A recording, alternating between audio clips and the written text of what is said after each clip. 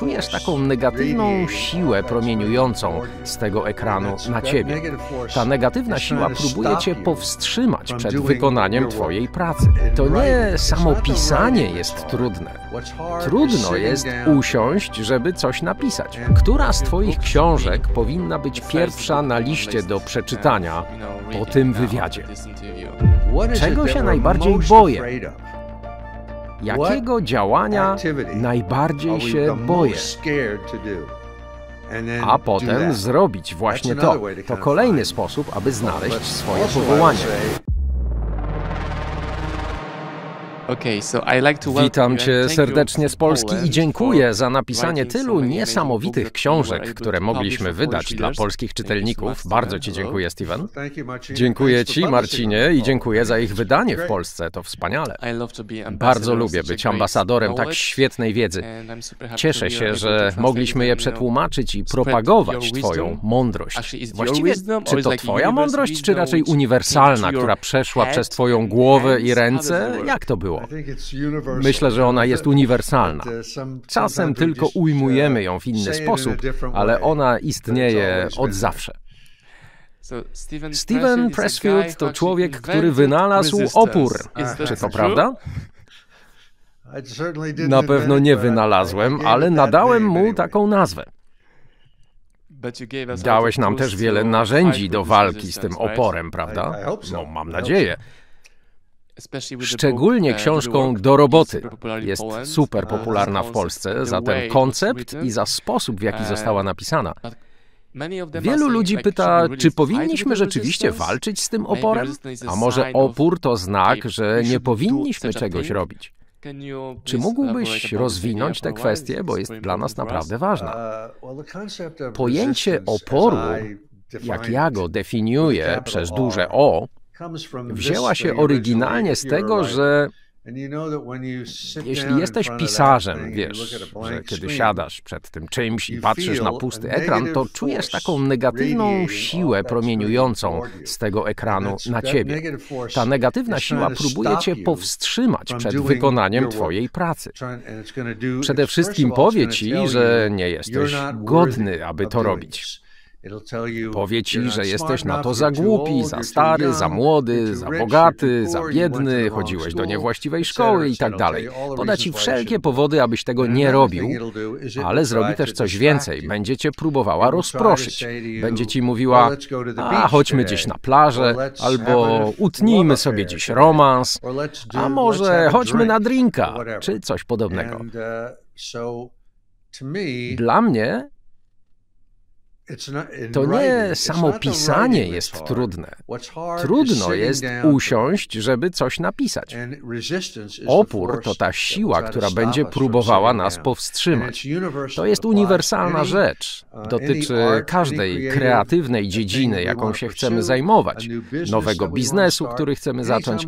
Zawsze, gdy chcemy przejść z niższego poziomu na wyższy, moralnie, etycznie, kreatywnie, politycznie, Opór będzie się starał nas zatrzymać. Pisałem o tym w mojej książce Wojna sztuki. Nie jestem pewien, czy taki jest polski tytuł. Wojna sztuki. Ale o tym właśnie jest ta książka. Kiedyś myślałem, że jeśli uh, siadam, aby napisać książkę, to wystarczy, że to zrobię. Nie rozumiałem, że jest ta negatywna siła, ten samosabotaż, który najpierw trzeba pokonać, żeby wykonać swoją pracę. Ta siła pokonywała mnie całymi latami, aż kiedyś nadałem jej imię i powiedziałem: OK, skoro wiem, że ona istnieje, to mogę z nią walczyć. Dla mnie to był przełom i myślę, że dla wielu osób też. A dlaczego ten opór istnieje? Z jakiego powodu? Czemu powstrzymuje on ludzi przed robieniem dobrych rzeczy, jak książki, biznes, filmy? Dlaczego? Czy to jest jakoś potrzebne we wszechświecie? Najprostsza odpowiedź, bo mam też taką o wiele dłuższą, ale najprostsza byłaby taka: dlaczego istnieje szatan? Dlaczego istnieje zło na świecie? Dlaczego ludzie robią złe rzeczy? Dlaczego w raju pojawił się wąż kuszący Adama i Ewę, by zjedli ten owoc, to jabłko? No tak to po prostu jest na tym świecie. Dlaczego istnieje grawitacja? Dlaczego ten długopis spada? Dlaczego nie płynie w powietrzu? Byłoby łatwiej, prawda? Dlaczego umieramy? Czemu nasze życie się kończy? Mam jeszcze o wiele bardziej rozbudowaną odpowiedź na to pytanie, ale myślę, że krótka wersja byłaby taka. Czyli pierwszy krok to zrozumienie, że tak działa ten świat, a potem trzeba znaleźć narzędzia Stevena Pressfielda do walki z tym oporem, jak miecz, którym można obciąć głowę tego smoka, prawda? Tak, albo znajdź je gdziekolwiek indziej. Znajdź sposób, aby sobie z um, nim poradzić. Jak mówię, to nie samo pisanie jest trudne, tylko zabranie się za nie. Hmm. Mnie na przykład pomaga takie myślenie, kiedy muszę pokonać ten opór w sobie, to pomaga mi, jak ja to nazywam, przejście na profesjonalizm. Kiedy analizowałem mój problem, dlaczego mnie to pokonywało raz za razem, ten mój samosabotaż, to odkryłem, że ja cały czas myślałem jak amator, a nie jak profesjonalista, czyli nie byłem naprawdę zaangażowany całym sercem. I kiedy uderzała jakaś przeciwność, to jej ulegałem. Wycofywałem się, poddawałem się, rezygnowałem. Pomyślałem, że gdyby udało mi się zacząć myśleć jak profesjonalista, bo wiesz, profesjonalista codziennie jest w pracy, robi to, co ma do zrobienia każdego dnia. Profesjonalista pokonuje przeszkody, nie pozwala, aby coś go zatrzymało, uh, prawda? Stosując te zasady, a także inne, um, Przełączyłem jakby swój umysł. OK, teraz jestem profesjonalistą. To nie znaczy, że pracuję tylko dla pieniędzy, ale że myślę w taki twardy, bezkompromisowy sposób. Mnie to bardzo pomogło w tej walce z moim własnym Czy to jest tak, że jeśli staję uh, się profesjonalistą, to znaczy, że podejmuję decyzję, iż odniosę sukces, więc sięgam po narzędzia, aby iść ścieżką sukcesu i robię A, B, C, D, tak? Dokładnie. Oprócz innych rzeczy, to może być po prostu ułożenie sobie planu dnia. Na przykład wstać wcześniej, mieć regularny czas, w którym zajmujesz się tym, co robisz w pracy. Jeśli jesteś tancerzem, to regularnie idziesz do studia i zostajesz tam, prawda? Jeśli jesteś tancerzem i myślisz jak profesjonalista, to dbasz o swoje ciało. Właściwie się odżywiasz, ćwiczysz, rozciągasz się, wzmacniasz siłę, uważasz, aby nie mieć kontuzji. A jak już ją masz, to wiesz, jak sobie z nią radzić. To jest właśnie myślenie profesjonalista a nie amatora, który się tym bawi na pół gwizdka. Poza tym wszystkim, Marcinie, odkryłem też, że i piszę o tym w najnowszej książce, którą wydajesz, Rusz dupę tam, gdzie chce być twoje serce. Ona właśnie o tym mówi. Kiedy mówię rusz dupę, mam na myśli twoje ciało, fizyczne ciało. Jeśli chcesz być tancerzem, to rusz swoje ciało do studia. Nie tylko myśl o tym, zrób to. Jako pierwszy krok, prawda? To jest pierwszy krok. Dalej oczywiście jest wiele innych. Nie rób tego tylko przez jeden dzień, następnego też i następnego. Ale to jest ciekawe zjawisko, duchowe wręcz, że jak już się zaangażujesz, kiedy już ruszysz dupę tam, gdzie chce być Twoje serce, kiedy już jesteś pro, to niewidzialne siły wszechświata przychodzą Ci w sukurs. Rozpoznają, i ja wiem, że nie potrafię tego udowodnić, ale sam odkryłem. Widzę to u ludzi, którzy tak zrobili. Nagle spotykasz ludzi, którzy ci pomagają. Nagle zjawia się ktoś um, i proponuje ci pracę. Um, Bo kiedy ludzie widzą, że jesteś zaangażowany, to chcą ci pomóc. Wiele osób nie jest zaangażowanych. Wielu ludzi nie jest profesjonalistami. Jeszcze nie przełączyło umysłu w ten tryb. Wierzę także, iż niebo ci pomaga. Bóg, który zsyła inspiracje, pomysły, intuicję, On też ci pomaga, kiedy widzi, że się zaangażowałeś, że ruszyłeś dupę tam, gdzie chce być twoje serce. Kiedy idziesz za marzeniem, z zaangażowaniem. Przypomniał mi się przykład, kiedy ruszyłem swoją dupę w miejsce, w którym chciałem być. Ja wtedy posadziłem ją w samolocie lecącym do USA na spotkanie z tobą kilka lat temu, żeby przekonać was do wydania książek w Polsce. Lecąc tam nie miałem żadnej gwarancji, że się zgodzicie, ale zaryzykowałem. Pomyślałem, dobra, pieprzyć to, po prostu jadę. Poszedłem prosto do ciebie. Po kilku minutach rozmowy powiedziałeś tak na moje prośby i modlitwy, aby zostać twoim polskim wydawcą. Więc to działa. Tak, działa. I to jest ta magia. Bo gdybym był jednym z bogów i widziałbym, że wsiadasz do tego samolotu i lecisz do Ameryki, powiedziałbym: O, mój człowiek, Marcin jest gotów zaryzykować, ruszył dupę, więc błogosław mu Boże, pomogę mu. Kiedy Cię poznałem, pomyślałem, Okej, okay, to jest gość, z którym chcę pracować. Jest tutaj. Kto jeszcze tu przyleciał? Nikt inny, a on tu jest. Więc to naprawdę działa. Chcę powiedzieć jeszcze coś, choć wiem, że mamy niewiele czasu. Wiem, że to, co teraz mówię, brzmi jak rzuć pracę i idź na całość w to, co chcesz robić. Ale to nie jest konieczne. Myślę, że możesz być w 100% zaangażowany przez 10% czasu. Innymi słowy, jeśli masz tylko godzinę w ciągu dnia, aby się zaangażować w to, co robisz, to jeśli zaangażujesz się całym sercem przez tę jedną godzinę i będziesz tak robić codziennie, codziennie, to zadziała.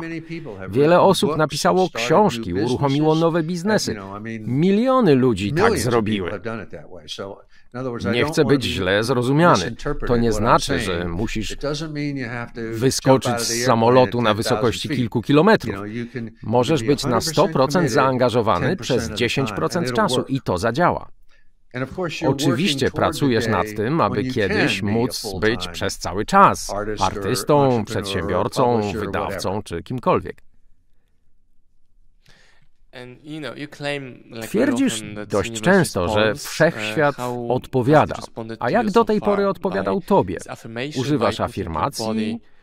Czy chodzi o to, by ruszyć dupę, wziąć się za robotę? Jak to działa u ciebie?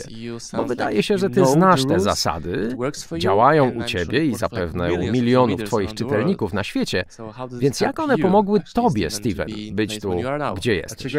To świetne pytanie, a odpowiedzią niech będzie Kolejne pytanie.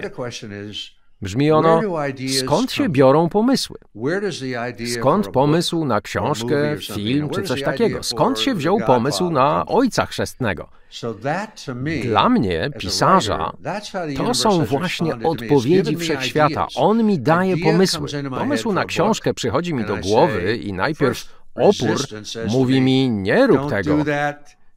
Za słaby jesteś, to kiepski, no tego typu rzeczy. Ale po chwili, kiedy go już pokonam, myślę, wow, to świetny pomysł. Nigdy wcześniej nie przyszedł mi do głowy i nie wiem skąd się wziął. To nie ja go wygenerowałem, on do mnie przyszedł. W ten sposób wszechświat nam odpowiada. Gdybyśmy żyli w starożytnej Grecji, powiedzielibyśmy, że to muzy i bogowie zeszli do nas i dali mnie czy każdemu pisarzowi pomysł. W taki sposób wszechświat nam odpowiada. Poza tym mamy szczęście poznawać ludzi, co się wydaje zbiegiem okoliczności, łutem szczęścia, a nie jest. Stoi za tym pewna siła. Nie ma czegoś takiego jak zbieg okoliczności. Czasem spotykam przypadkową, nieznajomą osobę i na koniec pogawędki okazuje się, że ten ktoś zostaje moim klientem, partnerem biznesowym, uh, pomaga mi promować pewne książki i tak dalej. Właśnie tak znaleźliśmy Twoje książki. One już wcześniej były wydawane w Polsce. Pierwsza do roboty uh, była wydana, ale leżała schowana gdzieś w magazynach. Odkryliśmy ją i daliśmy jej niejako drugie życie i nagle bum! To świetny pomysł, bo ludzie ją pokochali. E, Ale to się dzieje dlatego, że ty świadomie ruszasz dupę. Wychodzisz na świat i szukasz różnych rzeczy, prawda? I dzięki temu takie rzeczy do ciebie przychodzą, wiesz? Pomysły przychodzą z zewnątrz, do twojej głowy, do serca? Czy to jest jakiś miks? Inspiracja przychodzi ci do głowy, potem ją filtrujesz, mieszasz i wydobywasz um, z umysłu, żeby powstała z tego książka czy film? Co jest pierwsze? To jak z tym jajkiem i kurą. Świetne pytanie. Ja uważam, że to przychodzi z zewnątrz. Hmm. Być może nie, może to się bierze z naszej podświadomości, nie wiem. Ale wiem, że przy wielu książkach, jakie napisałem wcześniej, nie interesowałem się nawet specjalnie danym tematem. Nic o nim nie wiedziałem. Uh, na przykład uh, jedna z moich powieści, Bramy Ognia, to historia 300 Spartan pod Termopilami. Pomysł na nią przyszedł mi do głowy, gdy czytałem inną książkę. Pomyślałem, że przecież ja nic o tym nie wiem. Nigdy mnie to nie interesowało, ale ten pomysł uchwycił się mnie, że tak powiem. Zastanawiałem się, skąd to przyszło. Nie wiem. Musiałbym sięgnąć po wytłumaczenie starożytnych Greków, że to jakaś bogini klepnęła mnie w ramię i powiedziała: Chcę, żebyś to zrobił. Masz tu pomysł, zrób to. Um, Z pewnością nie ja jeden tak mam. Wśród pisarzy, autorów piosenek, tancerzy, pomysł przychodzi ci do głowy i przyczepia się. Nie masz wyboru. Nie możesz mu powiedzieć, oh, nie, nie zrobię tego. Ten pomysł jest w twojej głowie i nie chce odejść. Piosenka zaczyna grać w głowie kompozytora i może próbować jej unikać, ale ona stale tam gra. Prędzej czy później musi ją zapisać. Tak samo jest z książką. Ten pomysł się ciebie uczepia i musisz to zrobić. Nie wiem dlaczego, to tajemnica. Każda książka zaczyna się od tego migającego czegoś na pustym ekranie. Tak. Zawsze jest tak samo. Tak samo jest na Instagramie. Na początku jest zero obserwujących, a potem jakoś ta liczba rośnie. Zawsze mówię, że nie wiem, ilu ludzi obejrzy mój materiał. Ja tylko mogę go zamieścić i tyle. To jest cała moja praca. Właśnie. Dokładnie tak. To jest właśnie to ruszenie dupy tam, gdzie chce być Twoje serce. To wymaga zaryzykowania, zaangażowania, wystawienia się na ewentualną porażkę czy osąd, ale to jest zaangażowanie. Ja odpowiadam za napisanie posta, artykułu. I to chyba twój pomysł z jakiejś książki czy wywiadu. To moja robota, a jak skończę, to klikam publikuj i odtąd to już nie jest moje.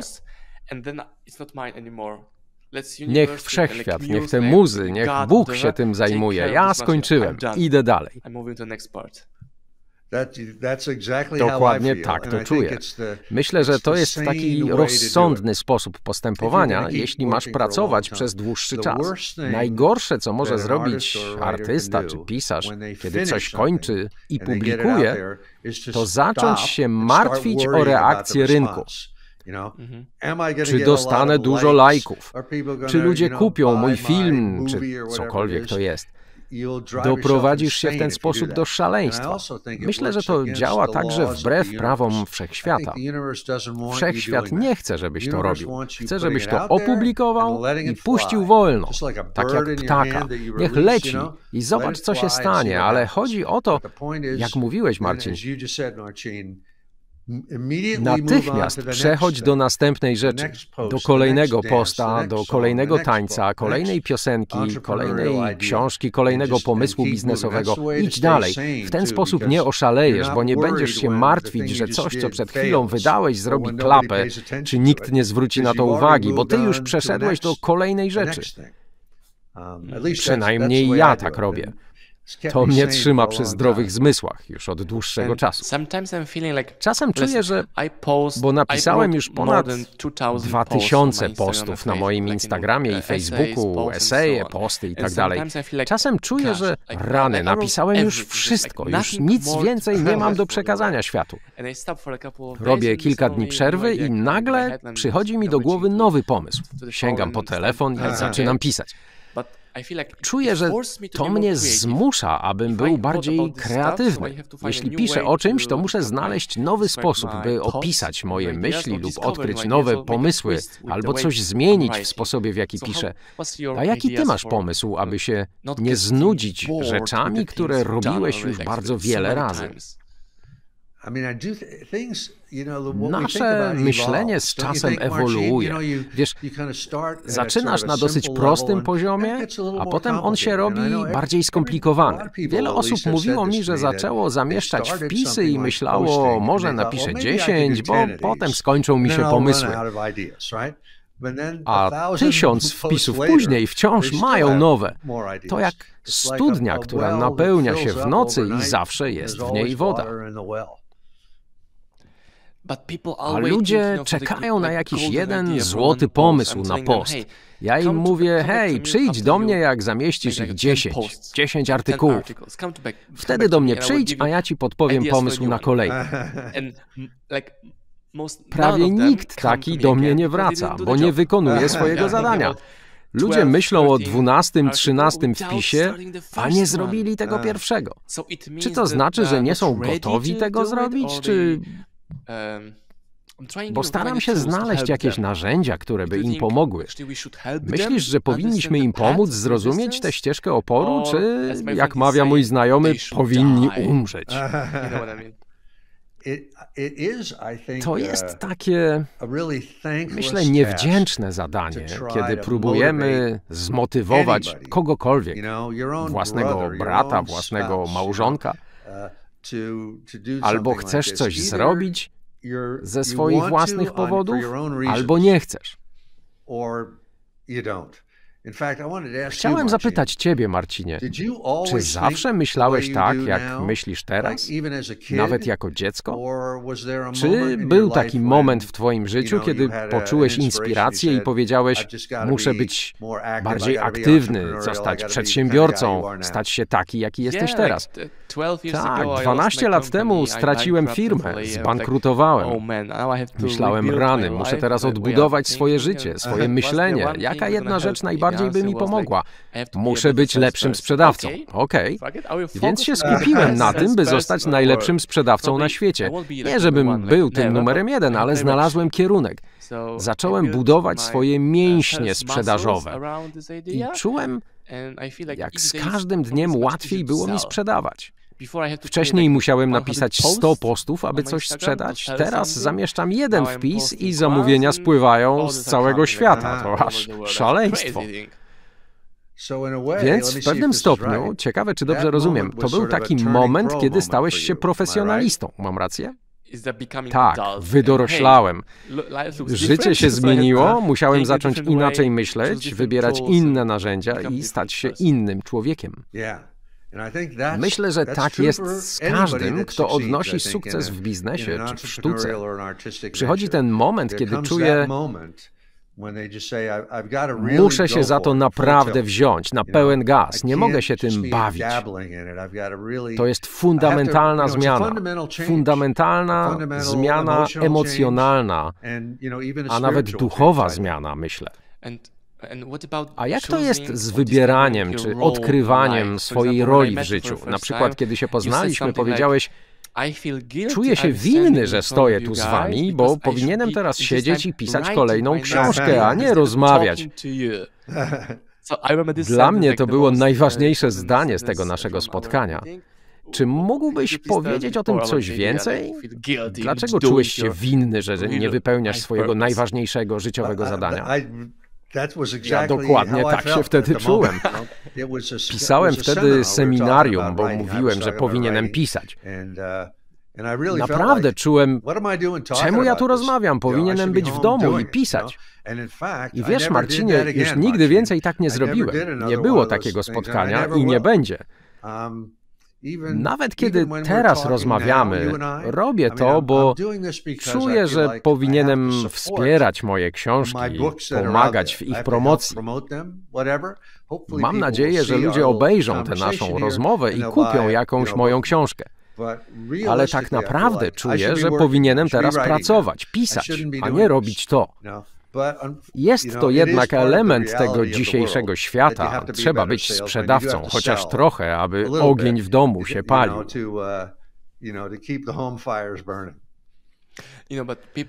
Ludzie słuchający tej naszej pogawędki pomyślą: Okej, okay, ale ja nie wiem, jaka jest moja rola w życiu. Jestem matką, ojcem, pracownikiem, szefem. Jaka jest moja najważniejsza rola? Mam poświęcać czas na pisanie, czy wychowywać dzieci, bawić się z nimi w piaskownicy, pływać w morzu? Jakie powinny być te proporcje u profesjonalisty? Czy w ciągu dnia mam być ojcem, a wieczorami pisać kolejny bestseller? Uh, Jak wybrać właściwe proporcje? Czy mówisz o równowadze w życiu, Marcinie, czy o poszukiwaniu powołania? O szukaniu powołania. Ja osobiście nie wierzę w równowagę. Myślę, że jednego dnia mam równowagę, następnego nie. Chodzi mi o to, żeby wykonywać pracę bez upewniania się, czy jest to na pewno moje powołanie. Bo wielu czytelników i znajomych szuka uh, wciąż tego powołania. Nie robią tego, co trzeba, bo wciąż szukają swojego powołania. Opowiem Ci historię, która spotkała syna mojego znajomego, bo może to zilustrować.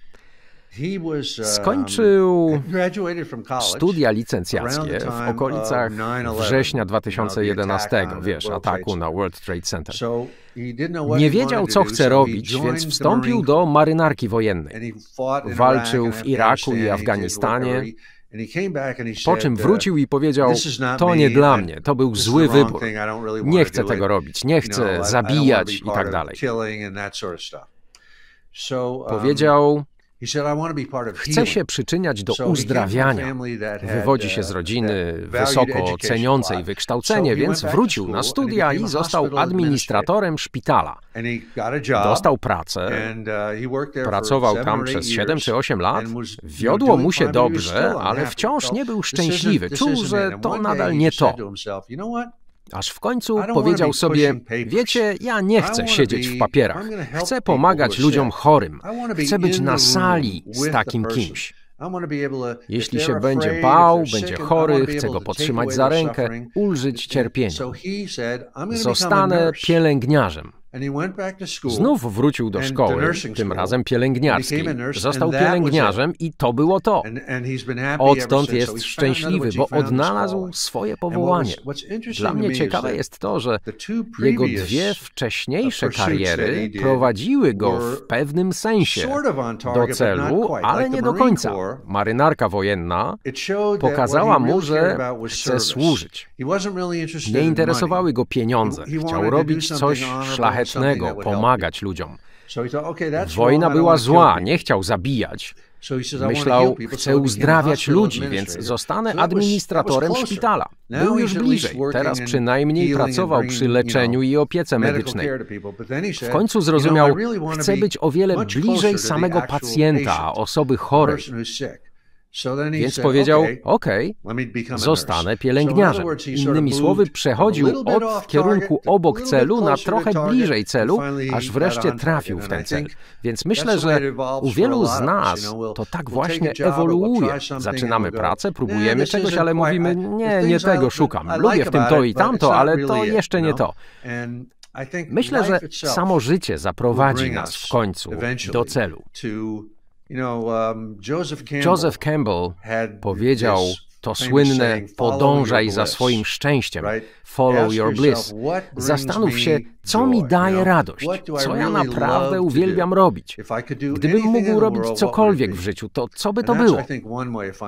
To myślę jest jeden sposób znalezienia powołania. Kolejny, jeśli użyjemy teorii oporu i powiemy, że opór będzie próbował nas zatrzymać, możemy się zastanowić, czego się najbardziej boję. Jakiego działania najbardziej się boję? A potem zrobić właśnie to. To kolejny sposób, aby znaleźć swoje powołanie. Powiedziałbym też, że bycie matką może być powołaniem. Nie ma nic złego w tym, że się dba o rodzinę.